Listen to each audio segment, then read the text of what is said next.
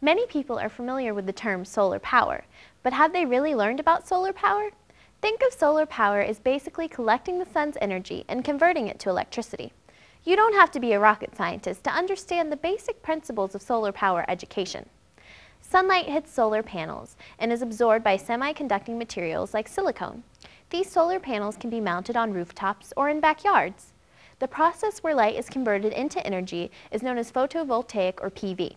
When PV happens, the energy is turned into DC, or direct current electricity, which in turn goes through an inverter to make AC, or alternating current. This is what you plug into the wall to turn on your TVs, computers, and appliances.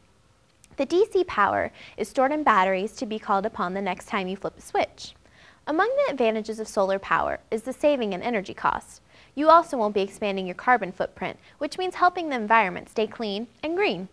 Here's the fun of one of the major benefits of solar power. If you build up enough stored solar energy and are hooked up to a power grid, you can sell this electricity back to your power company. For more information, be sure to click the link. This is Angela. Have a green day.